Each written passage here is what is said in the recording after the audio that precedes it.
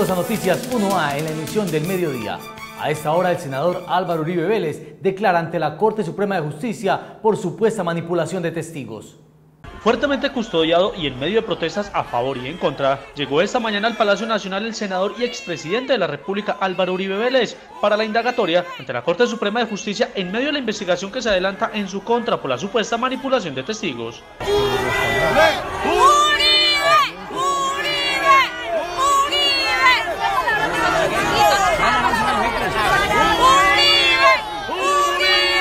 Después de la audiencia, la Corte Suprema de Justicia tendrá 10 días hábiles para decidir frente a la suerte que correrá el senador. La Corte tendría tres opciones. La primera de ellas, declarar archivado el proceso si no se encuentran suficientes pruebas en contra del senador para continuar con dicha investigación. La segunda, continuar con el proceso pero no dictar medida privativa en contra del senador, quien podría seguir su defensa en libertad. Y la tercera, dictar orden de captura y medida privativa de la libertad contra el senador Uribe.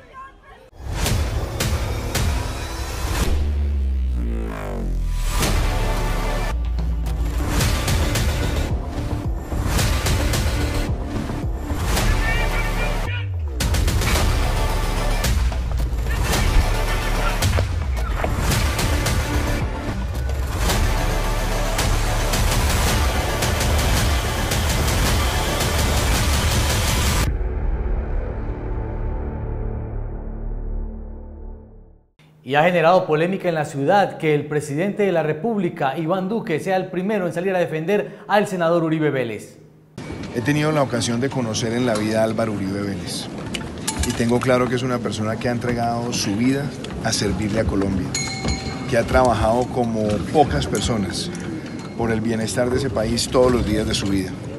Una persona que durante su gobierno enfrentó la criminalidad con verticalidad y con compromiso una persona además que ha trabajado por la población más vulnerable de nuestro país.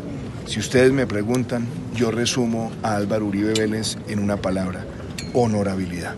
Dos incendios estructurales fueron reportados en las últimas horas en Pereira, uno de ellos en Mundo Nuevo y el otro en Altagracia. Las conflagraciones consumieron varias viviendas.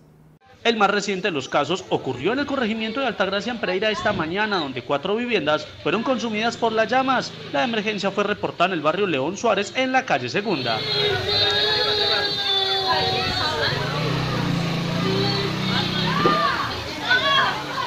Y esta madrugada igualmente fue reportada otra conflagración que afectó varias viviendas en el corregimiento de Mundo Nuevo también en Pereira.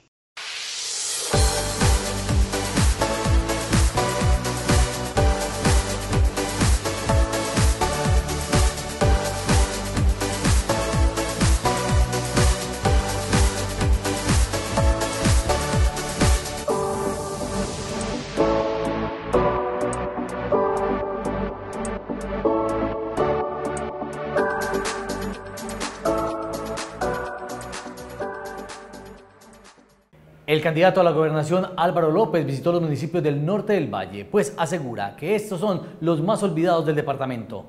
Álvaro López es de Cartago, quiere ser gobernador del Valle del Cauca por el Partido Conservador.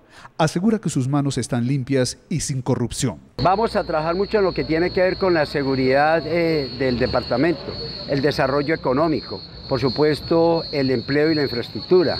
Vamos a, hacerle a la gente todo lo que tiene que ver el desarrollo de la educación con calidad, claro, bajo el principio de la libertad, en la familia, el turismo, la cultura, eh, eh, todo lo que convierte un motor de desarrollo al Valle del Cauca, el deporte, la recreación y la actividad cívica. Vamos a volver a ser campeones de Colombia, vamos a trabajar en otro tema muy importante que tiene que ver en la salud. La, salud es un derecho de todos y no un negocio eh, de unos cuantos con poder que quieren convertir al Valle del Cauca en un negocio.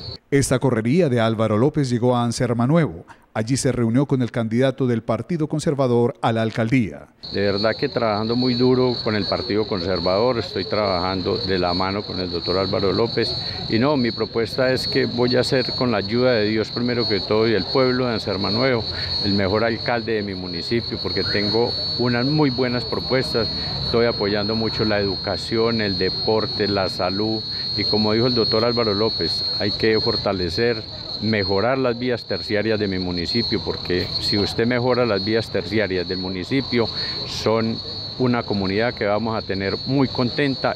Álvaro López asegura que la candidata a la gobernación del Valle del Cauca, Clara Luz Roldán, según algunos, candidata de Dilian Francisca Toro, no asiste a ningún debate porque tiene mucho que responder.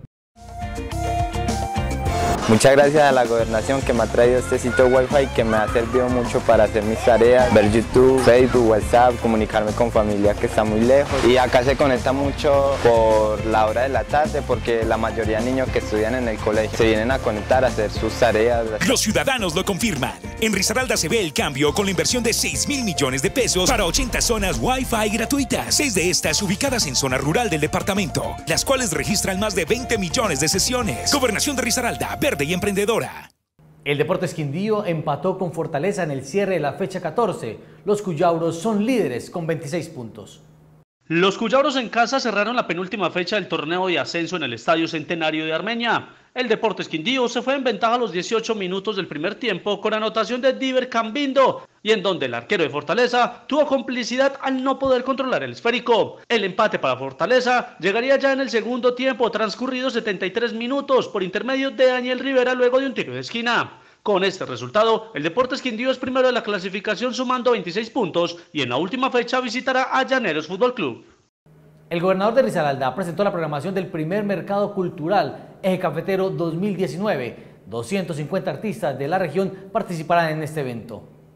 247 millones de pesos provenientes de regalías y recursos propios serán invertidos en el primer mercado que reunirá en Expo Futuro a 250 artistas y gestores culturales de Caldas, Quindío y Risaralda. Es gratis para expositores y para los visitantes, con tales que este es un proyecto que no se montó la semana pasada, que es un proyecto que tiene un trabajo de dos años, que es demasiadamente bien organizado, donde esperamos que el domingo cuando es la rueda de negocios nuestros expositores culturales puedan realmente hacer negocios, puedan eh, mostrar sus fortalezas culturales, pero que al mismo tiempo puedan hacer unos buenos negocios para que empiecen a vivir de, de su vocación cultural y artística. Este 12 y 13 de octubre, los asistentes podrán disfrutar gratuitamente de una programación que incluye exposición de artes visuales, encuentro de bandas, lanzamiento de libros, conferencias, foros, artesanías, danza, teatro, gastronomía, rueda de negocios, entre otras actividades culturales.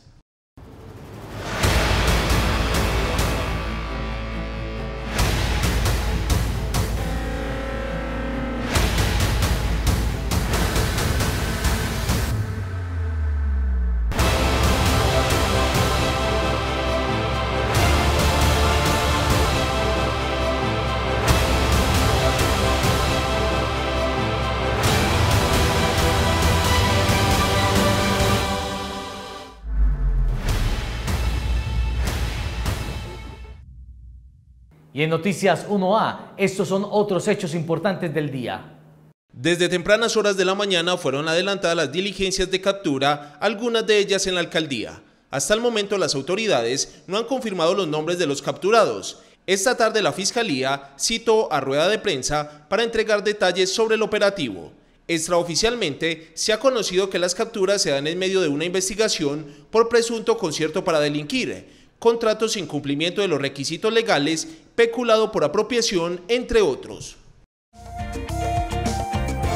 parece excelente que el gobernador nos ayude con las vitaminas y todo eso que los niños necesitan, porque la verdad hay veces a nosotros los padres económicamente no nos alcanza para la alimentación a los niños. Las madres risaraldenses lo confirman. En Risaralda se ve el cambio con la inversión social de 475 millones de pesos destinados al programa de recuperación nutricional infantil dirigido a 360 niños en Pereira, Dos Quebradas y Pueblo Rico, logrando una disminución en el porcentaje de desnutrición aguda del 7 al 3%. Gobernación de Risaralda, verde y emprendedora. Y hasta aquí las noticias 1A. Gracias por su compañía. Síganos en nuestras redes sociales.